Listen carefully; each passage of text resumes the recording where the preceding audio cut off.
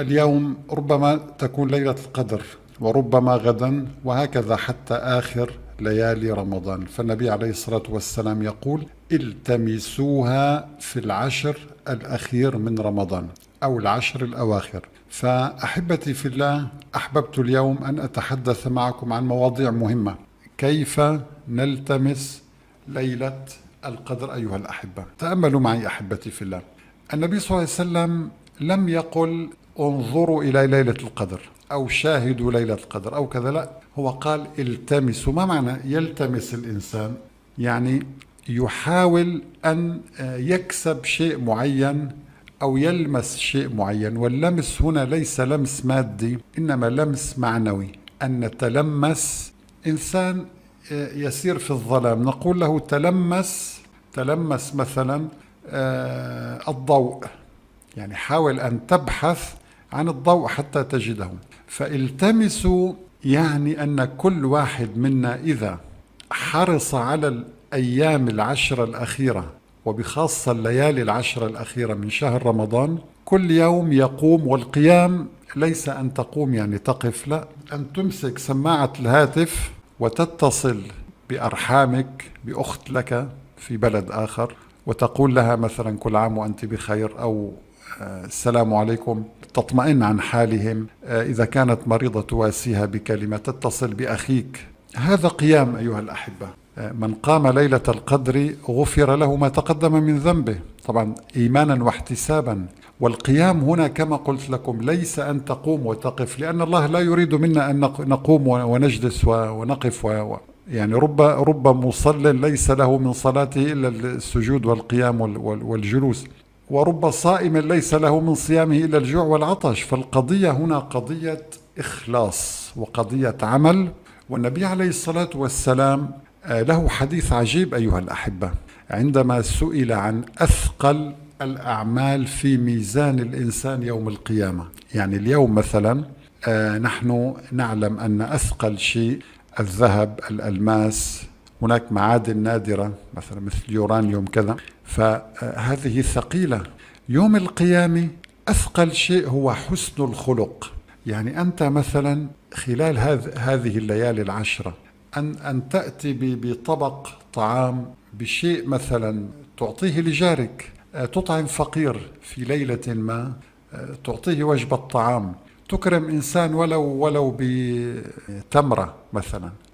تكرم إنسان بكلمة طيبة. هذا هذا من من أعلى أنواع الثواب أحبتي في الله على فكرة. وعندما سئل حبيبكم عليه الصلاة والسلام قال أقربكم مني مجلسا يوم القيامة؟ من؟ لم يقل الراكعون أو الساجدون أو القائمون أو كذا أو أو, أو المتصدقون حتى قال أحاسنكم اخلاقا. اذا حسن الخلق طيب ما هو حسن الخلق؟ الصبر.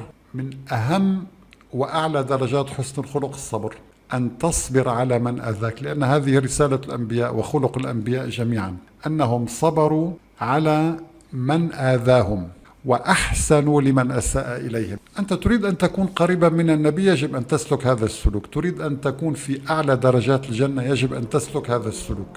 هذه الليلة أنت إذا كل يوم قمت بأعمال بر بالإضافة لصلاة ولو ركعتين في جوف الليل تدبر آية من القرآن من الأعمال العالية جدا هذه أن تحفظ ولو ثلاث آيات مثلا كل يوم احرص خلال هذه الليالي العشر لأن الحسنة أو العمل يضاعف ثلاثين ألف ضعف وأكثر لأن الله تعالى يقول ليلة القدر خير من ألف شهر. ألف شهر يعني الشهر ثلاثين يوم إذا اعتبرنا مضروب في ألف ثلاثين ألف. فهذه الليلة خير من ثلاثين ألف شهر بليلها ونهارها. يعني لازم تضرب باثنين لأنه هي ليلة وليست نهار هي ليلة.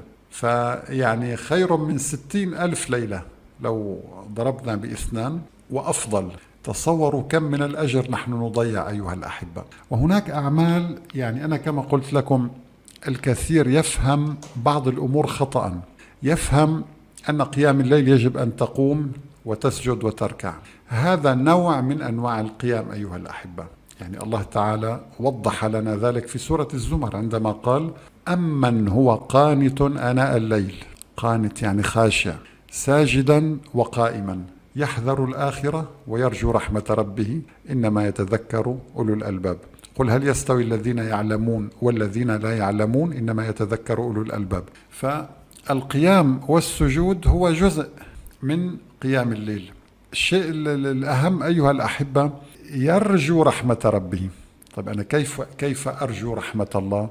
مجرد أن أقرأ القرآن مجرد أن أجلس وأتخيل وأقول يا رب أريد رحمتك. لا هناك أعمال أعمال يجب أن أقوم بها لأصل إلى هذه الرحمة.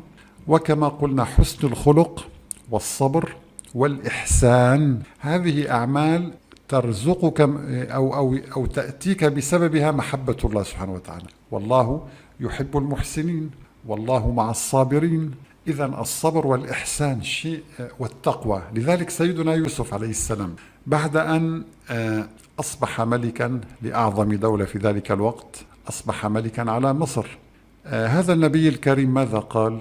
قال أخوته تالله لقد آثرك الله علينا. هو أصبح ملكا. هم كانوا عصبة وأقوياء وأشداء وهو كان طفل ضعيف ولكن كان لديه شيئين أيها الأحبة. تميز بهما عنهم. قال إنه قال إنه من يتقي ويصبر فإن الله لا يضيع أجر المحسنين. التقوى والصبر تقودك أن تكون من المحسنين. إنه من يتقي ويصبر فإن الله لا يضيع أجر المحسنين. الصبر ثم الصبر ثم الصبر أيها الأحبة لذلك أيها الأحبة يعني والله آه هذه الأعمال أنت بمجرد أن تقوم بها وأنت تنوي أن تدرك ليلة القدر صدقني ستدرك هذه الليلة ولو ليس من الضروري أن ترى شيئا ستدرك هذه الليلة وتأخذ ثوابها مضاعفا والله يرزق من يشاء بغير حساب. طيب الموضوع الثاني أيها الأحبة الذي آه، يعني أحببت أن أتأمله معكم اليوم هل يمكننا رؤية ليلة القدر؟ هذا الأمر في في غيب الله سبحانه وتعالى.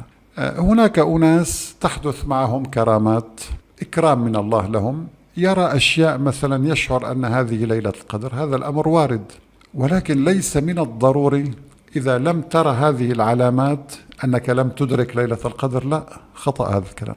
الله تعالى أكد لنا أنه أنزل القرآن في ليلة القدر وفي آية أخرى قال شهر رمضان الذي أنزل فيه القرآن. إذا والنبي قال التمسوها في العشر الأواخر. إذا هذه العشرة أيام فيها ليلة هي ليلة القدر هي مجهولة. أخفاها الله عنها لأنه يريد لنا الخير يريد منا مزيدا من العمل. لذلك أنت عندما كل يوم كل يوم تقوم بأعمال البر ستأخذ ثواب ليلة القدر. أنا ما الذي يهمني أن أرى أو, أو لا أرى؟ أنا يهمني الثواب يهمني رضا الله عز وجل. أنا الذي يهمني أن يرضى الله عني. كيف يرضى عني؟ الله لا يرضى إلا على الصابرين المحتسبين المتواضعين الخاشعين. هؤلاء الذين الله يرضى عنهم. وليس الإنسان المتكبر الذي يعني يفتخر بنفسه. يعني قارون. قارون كان لديه علم وكان من قوم موسى. كان مؤمنا الرجل يعني. ولكن المال أطغاه آتاه الله من الكنوز الشيء الكثير. فهذا الرجل لم يرد الفضل لله تعالى. قال إنما أوتيته على علم عندي.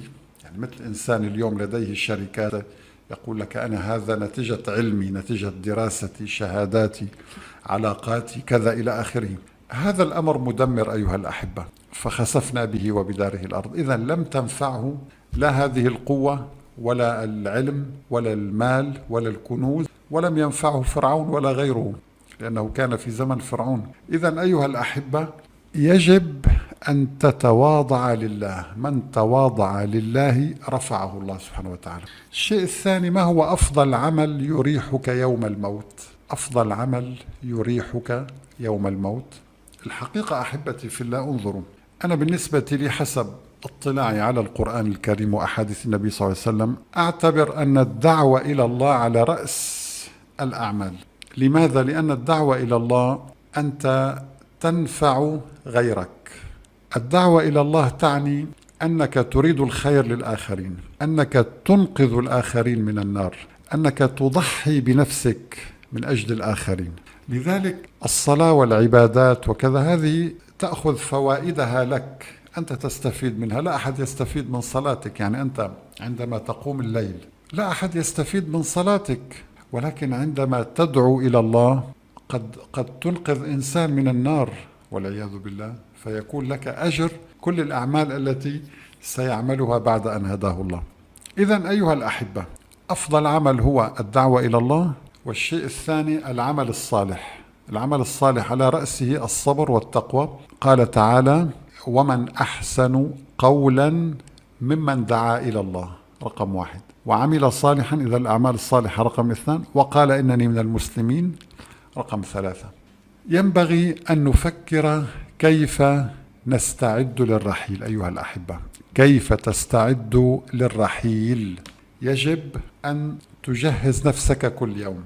لذلك أيها الأحبة الله عز وجل يقول لي ولا تحسبن الذين قتلوا في سبيل الله أمواتا بل أحياء عند ربهم يرزقون فرحين بما آتاهم الله من فضله ويستبشرون بالذين لم يلحقوا بهم من خلفهم ألا خوف عليهم ولا هم يحزنون يستبشرون بنعمة من الله وفضل يعني فضل ونعمة ورزق يرزقون وفرح. إذا يجب أن ننظر إلى يوم الموت على أنه بداية لحياة جديدة مليئة بالفرح مليئة بالسرور مليئة بالرزق.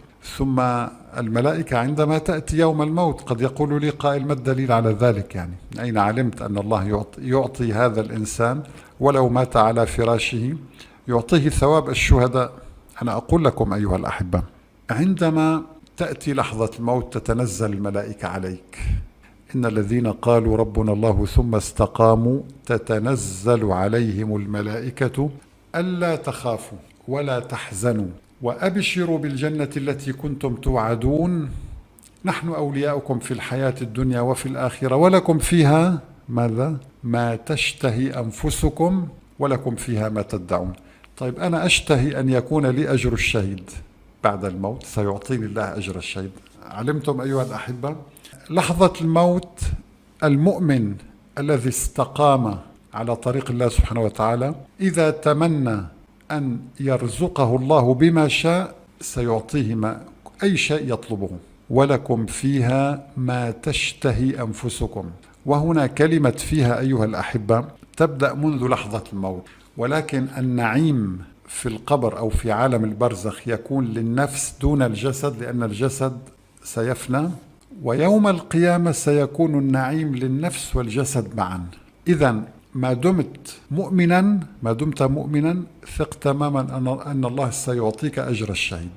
بإذن الله وسترزق وأنت في في قبرك. إذا أيها الأحبة استعداد للرحيل يجب أن تفكر أن الموت شيء جميل. وطبعا نحن نكره الموت حقيقة. كلنا يهرب من الموت لا أحد يتمنى الموت أحبتي في الله. لا أحد يتمنى والنبي نهى نهى أن نتمنى الموت. قال لا تمنوا الموت أو لا يتمنين أحدكم الموت. فإن كان ولا بد يعني فليقل اللهم أحيني ما دامت الحياة خيرا لي وتوفني إذا كان الموت خيرا لي. هذا دعاء يجب أن تقوله دائما. علمنا إياه النبي صلى الله عليه وسلم. اللهم أحيني ما دامت الحياة خيرا لي ما دامت هذه الحياة فيها خير لي فأهلا وسهلا. أنا مطمئن. وتوفني إذا كان الموت خيرا لي. ربما أنا أنحرف ربما أطغى والعياذ بالله. فالله من رحمته بك يختار لك اللحظة المناسبة للموت. فلا تقل لماذا فلان مات في هذا التوقيت لو أنه عاش أكثر أو كذا أو كذا لا. الله هو الذي يختار. الشيء الثاني أيها الأحبة قلنا إن أعلى الأعمال هي الدعوة إلى الله تحدثنا. والآن لدي حديث مهم جدا النبي آه، عليه الصلاة والسلام يقول من شغله القرآن وذكري عن مسألتي أعطيته أفضل ما أعطي السائلين. صلى الله عليه وسلم. من شغله القرآن وذكري عن مسألتي أعطيته أفضل ما أعطي السائلين. ما معنى هذا؟ يعني أخي الحبيب لا تشغل نفسك ليلا نهارا بأن تقول يا رب ارزقني يا رب اشفني يا رب أعطني يا رب سلم يا رب يا رب. ادعو الله. ولكن اجعل معظم وقتك اجعله ذكرا لله اجعله تبليغا للقرآن. ما معنى من شغله القرآن؟ يعني فقط يجلس ويقرأ؟ لا. يفهم ويتدبر ويبلغ ويطبق. القرآن أيها الأحبة أو ذكر الله لا يعني أن تقول الله الله الله الله الله. هذا جزء من ذكر الله. ذكر الله هو أن تفهم معنى القرآن تتدبر آيات القرآن وتطبق ما أمرك الله به وتبلغ هذه الآيات. ومن أحسن قولا ممن دعا إلى الله. طيب هل هناك دعاء للرزق؟ نعم أيها الأحبة هناك دعاء أنا سأقوله لكم. الله يبسط الرزق لمن يشاء ويقدر وهو القوي العزيز وهو القوي العزيز. اذا الله عز وجل يبسط هذا الرزق لمن يشاء ويقدر وهو القوي العزيز. آه، هناك آيات مثلا دعاء سيدنا مثلا آه، ذنون هذا فيه رزق لأن لأنه فيه نجاة عندما ينجيك الله من المهالك. ليس فقط أن تكون في بطن الحوت لا قد يكون عليك ديون ينجيك الله منها. لا إله إلا أنت سبحانك إني كنت من الظالمين. هذا دعاء لكسب الرزق أيها الأحبة. وصرف الدين عنك. لا إله إلا أنت سبحانك إني كنت من الظالمين. وهناك حديث لطيف أنا أدعو به دائما يعني. عندما رأى النبي صلى الله عليه وسلم أحد الصحابة آه، يجلس في المسجد في غير وقت الصلاة وسأله فقال ألا أعلمك دعاء؟ إذا قلته أذهب الله عنك همك وقضى دينك. اللهم إني أعوذ بك من الهم والحزن ومن العجز والكسل ومن البخل والجبن ومن غلبة الدين وقهر الرجال. هذا الدعاء بالفعل الصحابي الذي روى هذا الحديث قال والله لم تمر إلا أيام حتى أذهب الله همي وقضى ديني. هذا دعاء مهم علمنا إياه النبي صلى الله عليه وسلم وهناك أدعية كثيرة يعني. طبعا أيها الأحبة سنختم بطاقة التفكير بالموت. هناك تجربة أجريت مؤخرا تحدثنا عنها.